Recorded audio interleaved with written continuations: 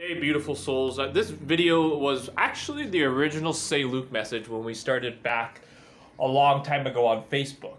And that was love. But more specifically, since energy is all that there is, the vibration of love. 530, 528 hertz, 432 hertz, and so forth, right? 963, 6, 639, 852 these love frequencies that all of life scientifically vibrates on. The trees and even the rainbows and the stars vibrate on the vibration of love. I get passionate about this. But what the news doesn't tell you, what the news doesn't tell you, is that over a billion views all together, all the meditation videos of the love frequencies combined together, have a billion views. And you can go read the comments. People are being killed.